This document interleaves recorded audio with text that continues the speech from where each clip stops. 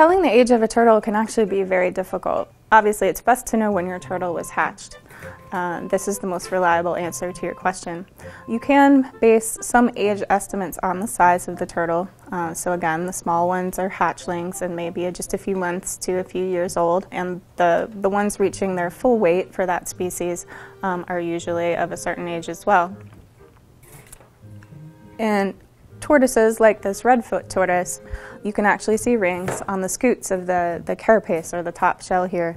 Um, so some, some people think that uh, each ring corresponds to a year of life.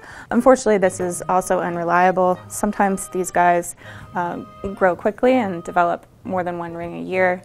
I've also seen cases where the turtles were not cared for properly and their shell actually didn't develop normally at all and was either stunted or deformed and you couldn't see the rings.